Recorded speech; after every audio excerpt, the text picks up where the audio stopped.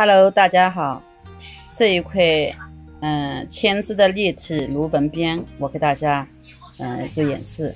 上一期是偏字，这一期是改成千字。那这个不是双螺纹，跟双螺纹是有区别的啊。那么上一期偏字，偏字和千字呢有什么区别呢？那么我现在演示偏字的那个反面哈，反面哈就是千字是正面哈，千字没有反面哈。那么接下来我给大家做演示。那么偏字的前反面号正千字正面号是怎么织的？千字没有反面号啊，两个下针挑下划下不织，那么两个上针织两针，两个上针，那重复演示，挑下两划下两针上下针织两个上针，那就这个区别。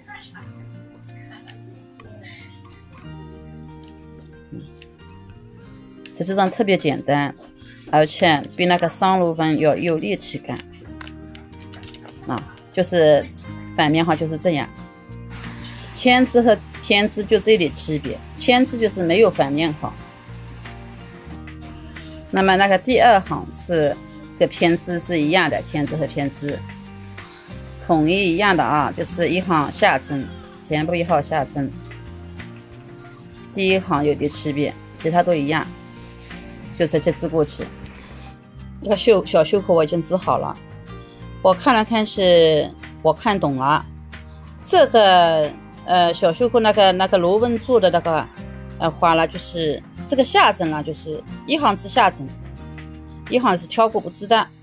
那么这两针上针呢，我看的是粗一板针，一行上针，一行下针，这样组成的这样一个花，那织出来跟那个双螺纹肯定是不一样的，是吧？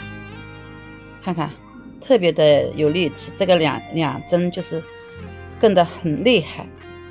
这个小袖子我已经织好了，那么我演示给大家看看，戴上去试试看。这是我起了五十六针啊，看看给大家看看，怎么样？好看吗？特别的饱满，我觉得。